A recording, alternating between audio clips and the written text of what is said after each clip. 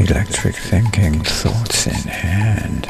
We're connected where we stand by EM waves which flow between here and there.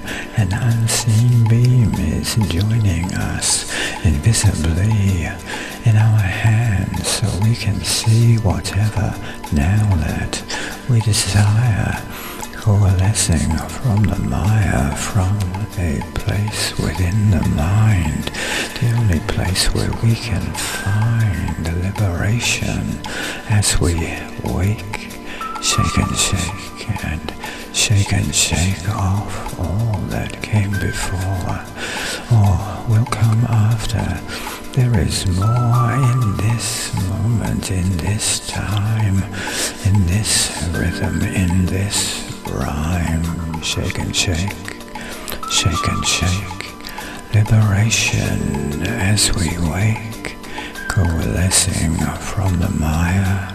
Anything that we desire in this moment, in this time, in this rhythm, in this rhyme, shaking off what came before.